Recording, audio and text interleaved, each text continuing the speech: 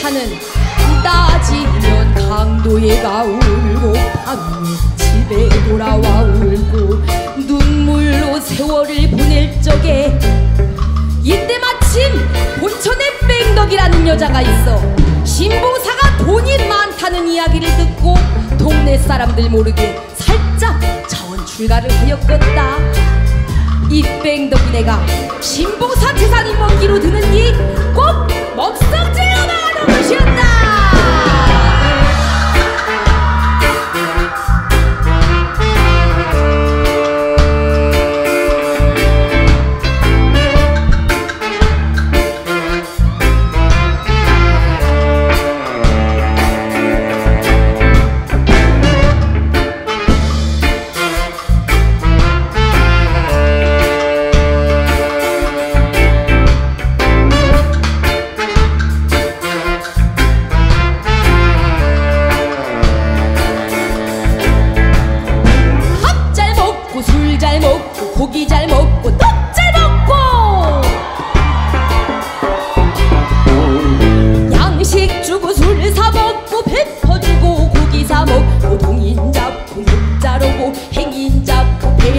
보고 이웃집에 밥벌채기.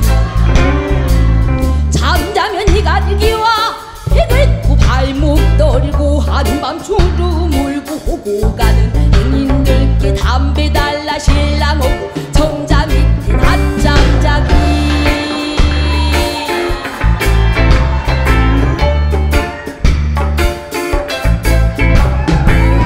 남의 혼인 허리야하고 단단 믿었 는뒤 해담을 자러 누와 신부 신랑 잠자는 니 가만 가만 가만 가만 가만 가만 가만 가만 가만 가만 가만 가만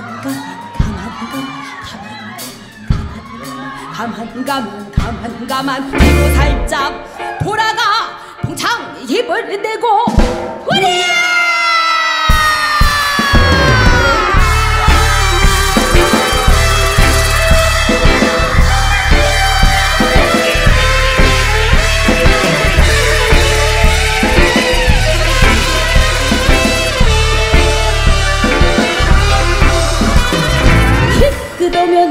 끌어고 했